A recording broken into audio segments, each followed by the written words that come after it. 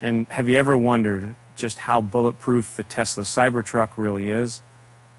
Well, this hulking all American vehicle isn't just a truck, it's a testament to the power of stainless steel. But can it really stand up to bullets? Zack from Jerry Rig, everything, decided to find out.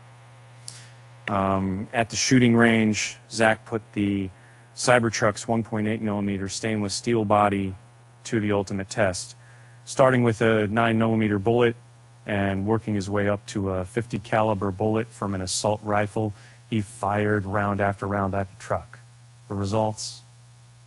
While the Cybertruck's armor-like body could withstand the 9 millimeter bullets, multiple shots in the same spot could penetrate the cabin. And when it came to faster bullets, the steel panel was no match. A 17 millimeter bullet lodged itself in the door panel, and the Gabable, his safe Meyer expert. So what about the windows? Well, they're tough, but not quite bulletproof. Um, so there you have it. The uh, Tesla Cybertruck is indeed bulletproof, but only to a certain extent. With that said, thanks for watching, and until next time.